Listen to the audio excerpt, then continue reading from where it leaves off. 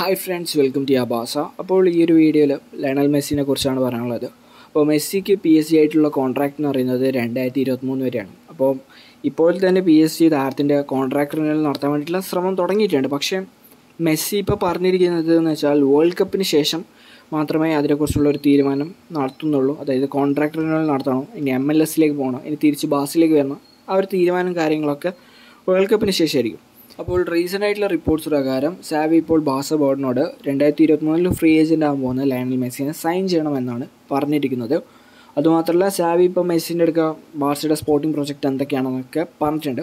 അപ്പോൾ മെസ്സി വരുമെന്ന രീതിയിലാണ് സ്പോർട്സ് ഒക്കെ റിപ്പോർട്ട് ചെയ്തത്.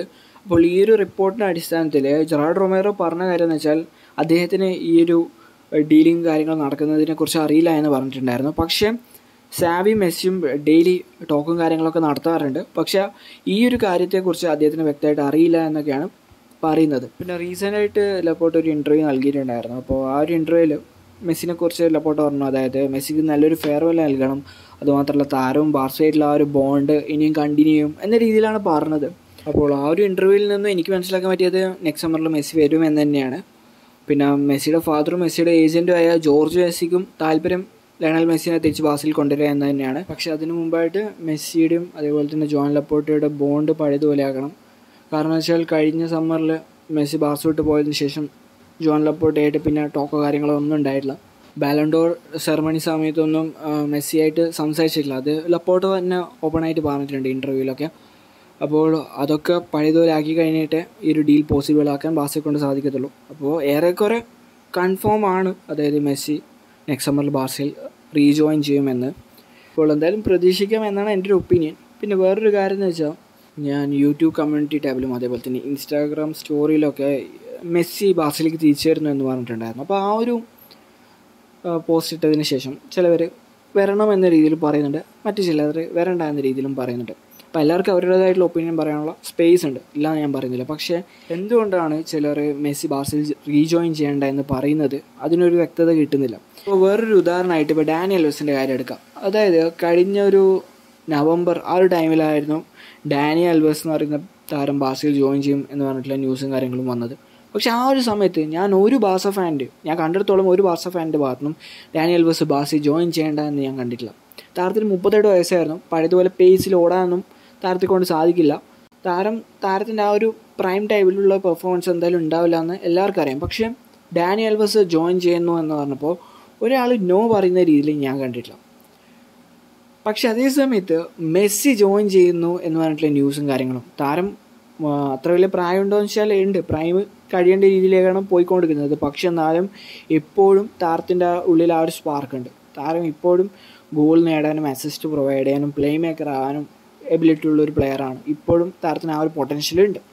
അപ്പോൾ ആ ഒരു പ്ലെയർ ബാസിൽ റീജോയിൻ ചെയ്യാൻ റെഡി ആവും അല്ലെങ്കിൽ റീജോയിൻ ചെയ്യാൻ പോകുന്നു എന്ന് പറഞ്ഞിട്ടുള്ള ന്യൂസും കാര്യങ്ങളും വരുമ്പോൾ ചില ബാർസ ഫാൻസ് അറിയുന്നു വരണ്ട. മെസ്സി ബാസിലേക്ക് റീജോയിൻ ചെയ്താൽ മെസ്സി ഡിപ്പെൻഡ് ആയിട്ടുള്ള ബാസയായിട്ട് വീണ്ടും മാറും. ഇപ്പോൾ മെസ്സി ഡിപ്പെൻഡ് ആയിട്ടുള്ള ഒരു ബാസയല്ല ഉള്ളത് എന്നൊക്കെ പറഞ്ഞിട്ടുള്ള സ്റ്റേറ്റ്മെന്റ്സും കാര്യങ്ങളാണ് കണ്ടത്. അപ്പോൾ എനിക്ക് പറയാനുള്ളത് ഇപ്പോൾ ഫ്രാങ്ക് റേഗാർഡ് മുതൽ നമ്മുടെ ലൂയിസ് എൻട്രിക്കെ വരെയുള്ള ഒരു ടൈം പീരീഡിൽ മെസ്സി ഉണ്ട് പക്ഷെ ആ ഒരു സമയത്തൊന്നും ഓവർ മെസ്സി ഡിപ്പെൻഡൻസോ കാര്യങ്ങളോ നടത്തിയിട്ടില്ല. കാരണം ആ ഒരു സമയത്ത് മെസ്സി മാത്രമല്ല വേറെ സ്റ്റാർ പ്ലേയേഴ്സൊക്കെ നമ്മുടെ ബാസ സ്ക്വാഡിൽ ആ ഒരു ടൈം പീരീഡിൽ ഉണ്ടായിട്ടുണ്ട് പക്ഷെ ആ ഒരു ടൈം പീരീഡിൽ മെസ്സിനെ ഡിപ്പെൻഡ് ചെയ്തിട്ടില്ല എന്നല്ല പറഞ്ഞത്. മെസ്സിനെ ഡിപ്പെൻഡ് ചെയ്തിട്ടുണ്ട് പക്ഷെ ഓവറായിട്ടുള്ള ഡിപ്പെൻഡോ കാര്യങ്ങളോ ആ ഒരു ടൈം പീരീഡിൽ ഉണ്ടായിട്ടില്ല എന്നതാണ് സത്യം. കാരണം വെച്ചാൽ ഇപ്പോൾ മെസ്സി ഗോളോ അസിസ്റ്റോ ഒന്നും പ്രൊവൈഡ് ചെയ്യാതിരുന്നാൽ പോലും തന്നെ അതിന് റീപ്ലേസ്മെന്റ് അല്ലെങ്കിൽ അതേ എഫേർട്ട് ഇടാൻ വേറെ പ്ലേയേഴ്സ് നമ്മുടെ സ്ക്വാഡിലുണ്ടായിരുന്നു അതുകൊണ്ട് മെസ്സിനെ ഓവറായിട്ട് ഡിപ്പെൻഡ് ചെയ്യാൻ ആ ഒരു ടൈമിൽ അല്ലെങ്കിൽ ആ ഒരു ടൈം പീരീഡിൽ അങ്ങനെ ഉണ്ടായിട്ടില്ല. പക്ഷേ വാൽവർദ്ധയുടെ ടൈം ആയപ്പോഴേക്കും അങ്ങനെയല്ല സിറ്റുവേഷൻ പല താരങ്ങളും ബാസ് വിട്ട് പോയി. നെയ്മർ പോയി. സാവി ഓൾറെഡി പോയി. അതേപോലെ തന്നെ ഇനിയസ്റ്റ ആ ഒരു സീസണോട് കൂടി ക്ലബ് ഇടാൻ നിൽക്കുന്ന ഒരു അവസ്ഥയായിരുന്നു. പിന്നെ ആ ഒരു ടൈമിൽ ലൂയിസ് വാറസ് ഒക്കെ കൺസിസ്റ്റൻസി ഉണ്ടായിട്ടില്ല. താരം ഇടയ്ക്ക് നല്ല രീതിയിൽ ഗോൾ അടിക്കും. പിന്നെ ചില മത്സരത്തിൽ ഗോൾ അടിക്കില്ല അങ്ങനെയായിരുന്നു പോയത്. അതേപോലെ തന്നെ ഡെമ്പലി ആണെങ്കിൽ ഇഞ്ചുറി പ്രോണൊക്കെ ആയിരുന്നു. അപ്പോൾ ആ ഒരു ടൈമിൽ മെസ്സി ആയിരുന്നു ബാസക്ക് വേണ്ടി കൂടുതലും ഗോളും കാര്യങ്ങളൊക്കെ നേടിക്കൊടുത്തത്. പിന്നെ ചില സമയത്ത് അസിസ്റ്റ് പ്രൊവൈഡ് ചെയ്യാൻ മെസ്സി ഇറങ്ങേണ്ടി വരും. പ്ലേ മേക്കർ റോളിൽ കളിക്കേണ്ടി വരുന്ന ഒരു അവസ്ഥയുണ്ടായിരുന്നു ചില സമയത്ത് ഒരു മാച്ചിൽ തന്നെ ഈ മൂന്ന് കാര്യങ്ങളും ചെയ്യേണ്ടി വരുന്ന ഒരു അവസ്ഥയിലൊക്കെ പോയിട്ടുണ്ട്. അപ്പോൾ അങ്ങനെ ഒരു അവസ്ഥയിലേക്ക് പോകാനുള്ള കാരണം എന്ന് വെച്ചാൽ ബാർസലോണ ബോർഡായിരുന്നു ആ സമയത്ത്. അതായത് ബർട്ടോമി ബോർഡ്. ബർട്ടോമി ബോർഡ് ശരിക്കും പറഞ്ഞാൽ ഒരു കറക്റ്റ് റീപ്ലേസ്മെന്റോ അല്ലെങ്കിൽ കറക്റ്റ് ആയിട്ടുള്ള ഒരു പ്ലേയേഴ്സിനെ വാൽബർദേക്ക് എത്തിച്ചു കൊടുത്തിട്ടില്ല. അതുകൊണ്ട് ആ കാര്യങ്ങളെല്ലാം കൈകാര്യം ചെയ്യേണ്ടി വരുന്നത് മെസ്സി ആയിപ്പോയി. അപ്പോൾ ആ ഒരു ടൈം മുതലാണ് ശരിക്കും പറഞ്ഞാൽ ഓവറായിട്ടുള്ള മെസ്സി ഡിപ്പെൻഡൻസ് ആണ് ഉണ്ടായത്. ഇനിയിപ്പോൾ സാവിഡ് അണ്ടറിൽ മെസ്സി വന്നു കഴിഞ്ഞാൽ ഇതേ ഓവർ ഡിപ്പെൻഡൻസി ഉണ്ടാവുമോ എന്ന് ചോദിച്ചാൽ ഒറ്റ ഉത്തരവേ ഉള്ളൂ ഇല്ല എന്ന് മാത്രം.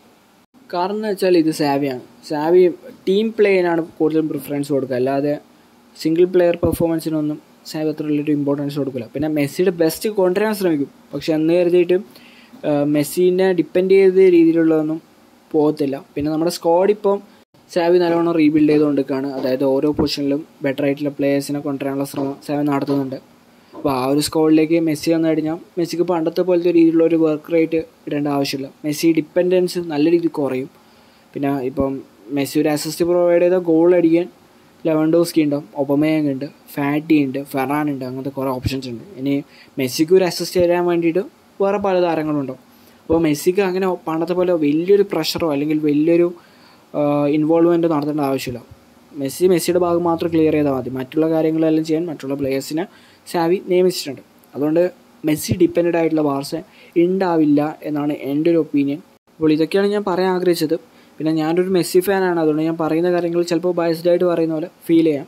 അത് വേറെ കാര്യം. പിന്നെ ഇനി ഇതെല്ലാം പറഞ്ഞിട്ടും ചില ബാർസ ഫാൻസിന് ഇപ്പോഴും എതിർപ്പുണ്ട്. അതായത് മെസ്സി ബാസിൽ ജോയിൻ ചെയ്യരുത് എന്ന് തന്നെയാണ് പറയാനുള്ളതെങ്കിൽ സിമ്പിളായിട്ടുള്ള ഒരു വഴി എന്ന് വെച്ചാൽ നേരെ ഇൻസ്റ്റാഗ്രാം എടുക്കുക ഷായുടെ അക്കൗണ്ട് എടുക്കുക എന്നിട്ട് നേരെ മെസ്സേജ് അയക്കുക. മെസ്സിനെ സൈൻ ചെയ്യേണ്ടതെന്ന് പറയാം. അത്രയാണ് വേറെ ഒന്നുമില്ല. കാരണം ഇത് വെച്ചാൽ ഈ ഒരു ഡീൽ മൊത്തം ഡിപ്പെൻഡ് ചെയ്യുന്നത് സാവിയിലാണ് സാവി എസ് പറഞ്ഞാൽ മെസ്സി ചിലപ്പോൾ ബാസിലേക്ക് വരും. പിന്നെ സാവി നോ പറഞ്ഞാൽ ഒരു ഡീലേ നടക്കത്തില്ല. അതുകൊണ്ട് എല്ലാം ഡിപ്പെൻഡ് ചെയ്തത് സാവിയിലാണ്. അപ്പോൾ എന്തെങ്കിലും എതിർപ്പുണ്ടെങ്കിൽ നേരെ സാവിയുടെ ഒക്കെ പറയാം. അത്രയാണ് അപ്പോൾ ഇതൊക്കെയാണ് കാര്യങ്ങൾ. അപ്പോൾ ഈ ഒരു വീഡിയോ തരുള്ള അടുത്ത വീഡിയോ ആയിട്ട് കാണുന്ന രണ്ടിൽ ന്യൂസ് കാൽ ബാർസ